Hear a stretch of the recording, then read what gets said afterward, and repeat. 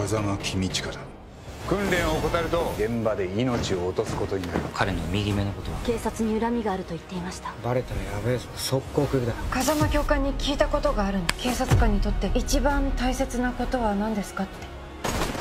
罠をかけるんですね。警察官になるのは諦めた方がいい。君にはここを辞めてもらう。